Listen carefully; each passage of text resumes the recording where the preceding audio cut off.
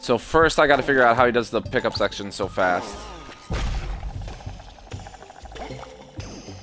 And then I have to figure out what the Seeker section is like after that with that new timing.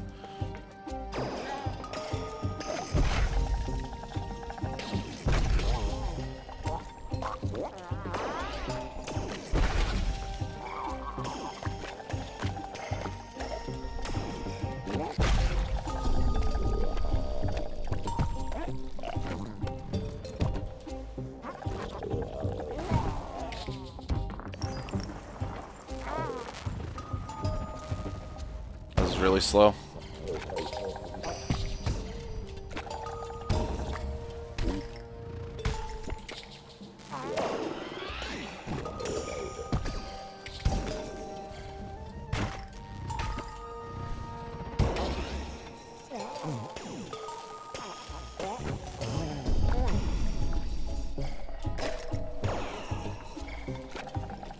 Um, I don't feel like this is world record.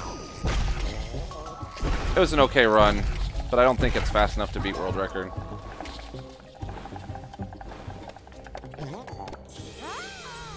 So, I feel like Bare Necessities might have been slow.